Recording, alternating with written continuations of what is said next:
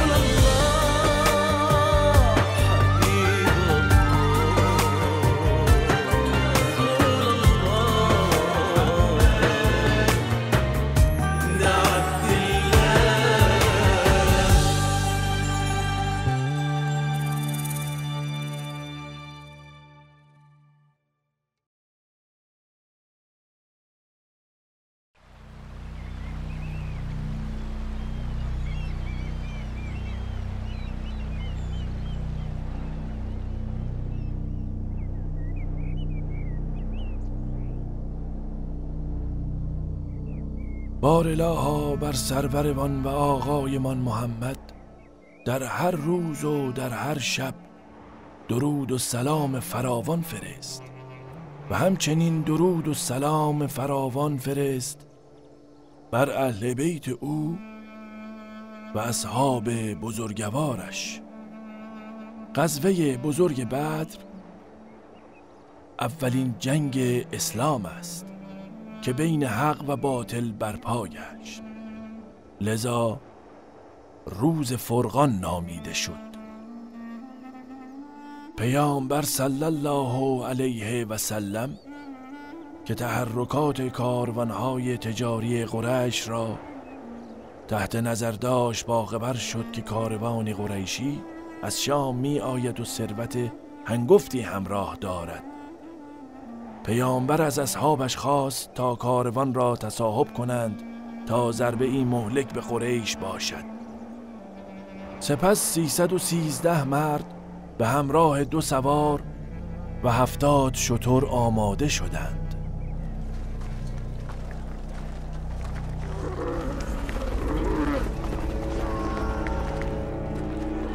آیا از اهل یسرب کسی را دیده ای؟ اردانی را دیدم که از این سمت عبور می کردن و همه مسلح بودند.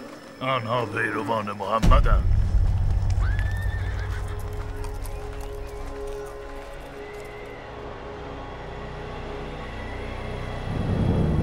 ابو سفیان با استفاده از هوش و ذکاوتش از حضور سپاه مسلمین در نزدیک بدر با خبر شد و مسیر کاروان را تغییر داد.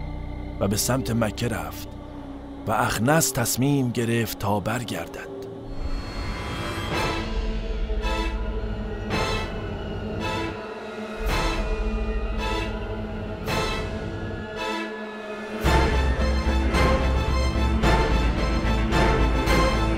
باز نمیگردیم تا در بعد نجنگیم و با شادی آنجا نمانیم و میهمانی نکنیم. و شراب ننوشیم اما من باز میگردم ای ابوالحکم. ای اخنس برمیگردی و ما را در جنگ با محمد تنها می‌گذاری؟ آنها در کمین هستند. و کاروان ابو سفیان معجزه آسان نجات یافت. باز آن وقت محمد پیروز شود و اعتبار ما را بین عربات بین ببرد.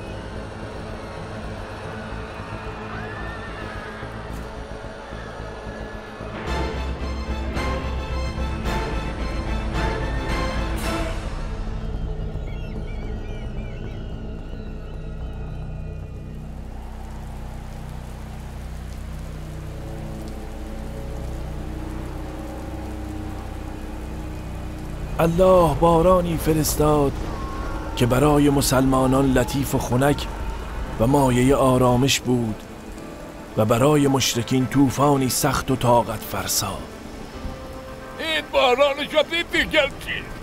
که مانع پیشروی ما به سوی محمد می‌شود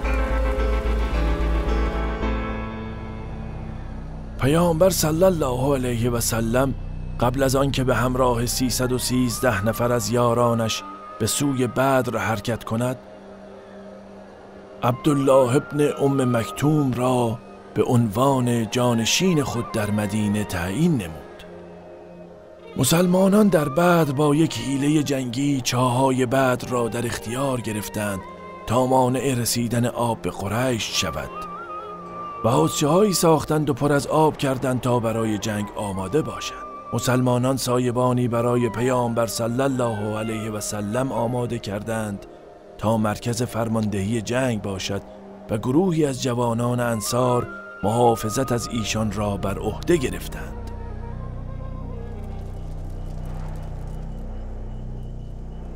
پیامبر شب را کنار درختی مشغول نماز بود و قبل از آن سپاه خود را تشویق نمود و در میدان نبرد قدم گذاشت و با دست خود اماکنی را نشان می‌داد و میفرمود فردا فلانی اینجا هلاک خواهد شد الله و فلانی اینجا هلاک خواهد شد. و این گونه به مسلمانان مژده پیروزی می‌داد. و آن شب شب جمعه 17 رمضان سال دوم هجرت بود.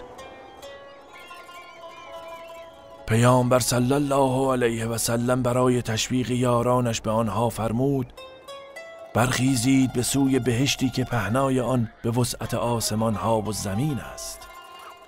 امیر انصاری از پیامبر پرسید آیا پهنای بهشت به وسعت آسمان ها و زمین است؟ پیامبر فرمود بله. امیر گفت به به به به. رسول الله صلی الله علیه و سلم شروع به اجرای نقشه جنگی خود نمود و صفها را مرتب کرد. نیزداران در صفهای اول بودند تا جلوی سوارکاران را بگیرند و پشت سرشان تیراندازان قرار گرفتند تا دشمنان را تیرباران کنند. پیامبر صلی الله علیه و سلم لشکر خود را به نحوی آرایش کرد که خورشید پشت سر آنها باشد در حالی که دشمن رو به خورشید قرار گرفته بود. و پیامبر همچنان مشغول مرتب نمودن صفهای مسلمانان بود تا کاملا صاف و برابر باشند. علی ابن ابی طالب فرمانده سپاه مهاجری و سعد ابن معاذ فرمانده سپاه انصار است و زبیر ابن عوام فرمانده جناه راست و مقداد ابن امر فرمانده جناه چپ است. پیامبر صلی الله علیه و سلم با تیری که در دست داشت صفها را منظم می نمود و سواد را دید که از صف خارج شده. ضربه ای به شکمش زد و فرمود در صف من سواد.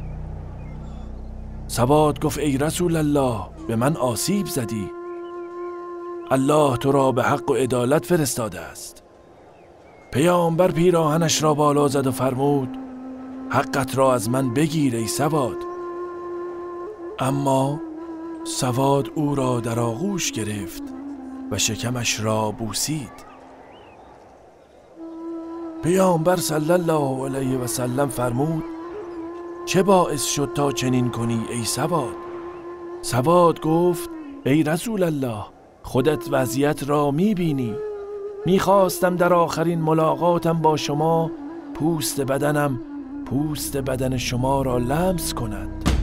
اوف ابن حارس نزد پیامبر صلی الله علیه و سلم آمد و از ایشان پرسید ای رسول الله چه چیزی از بنده الله را شاد می کند پیامبر صلی الله علیه و سلم فرمود وقتی که بدون زره با دشمن بجنگد.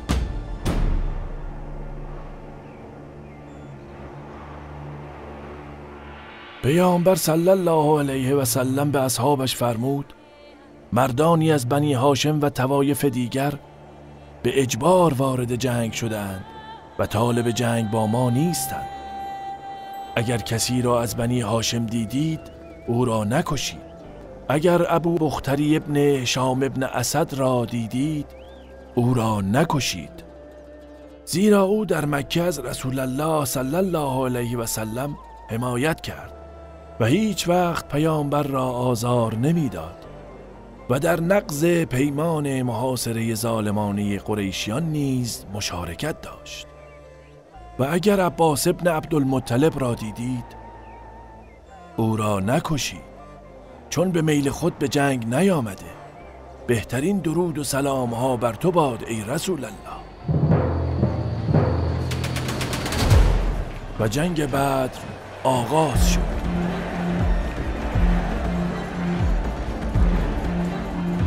پیامبر صلی الله علیه و سلم به اصحابش فرمود این لشکر مکه است که با جگرگوشه هایش به سوی شما آمده است.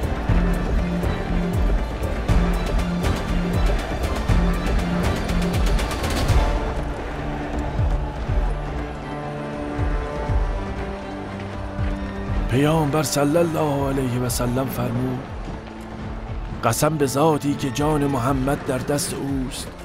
هر کسی که امروز در این میدان جانانه و به قصد رضایت الله بجنگد و در این نبرد کشته شود الله او را وارد بهشت خواهد کرد. عثبت ابن ربیه و شیبه و ولید ابن عثبه بیایید و بر آنان بتازید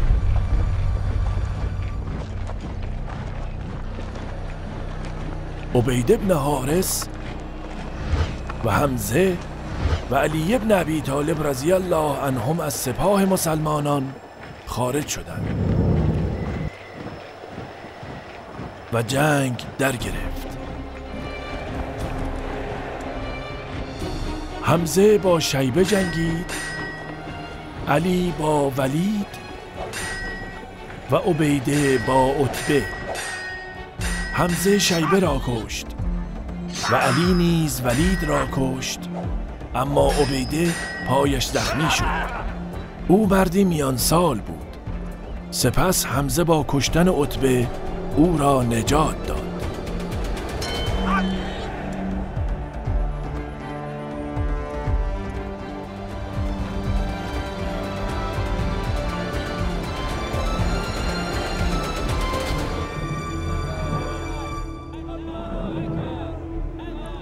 ای خدایا هر سه کشته شدن انتقامشان را بگیره. مشرکان دیوان وار بر سپاه اسلام حمله کردند و جنگ آغاز شد.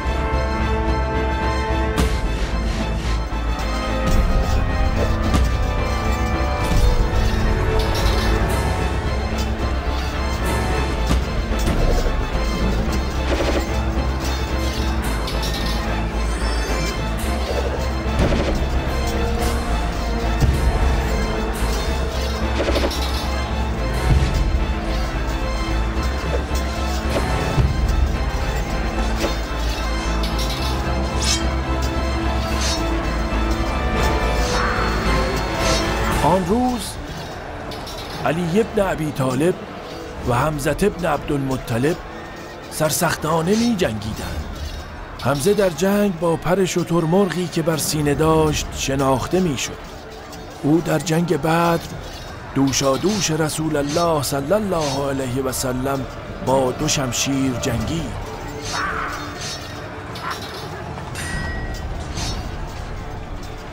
بیایید ای سربازان الله! بیایید ای سربازان الله امروز روز شماست. بیایید ای سربازان الله.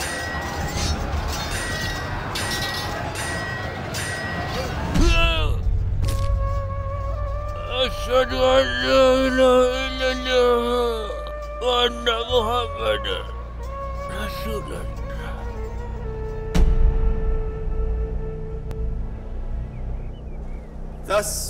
The messenger of God, peace be upon him, was triumphed by trust and faith in God, whom he supported with his angels from heaven. Ainsi, le messager de Dieu a triomphé grâce à sa foi. Et Dieu l'a soutenu avec les anges du paradis. الرحمن الرحيم.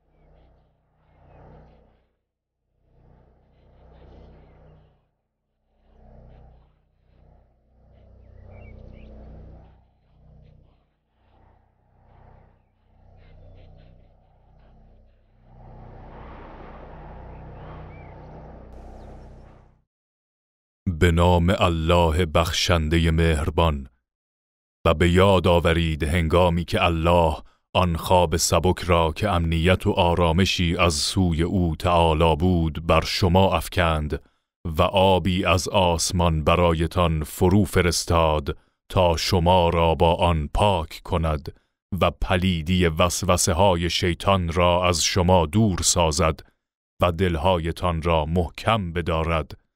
و گامهایتان را با آن استوار نماید.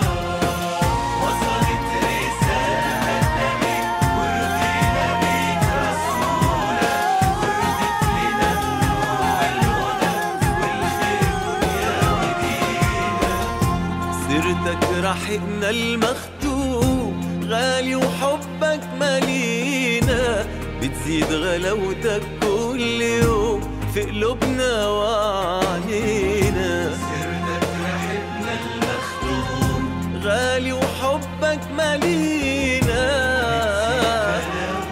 كل يوم في قلوبنا وعنينا ما انت اللي بيك فرح الحزين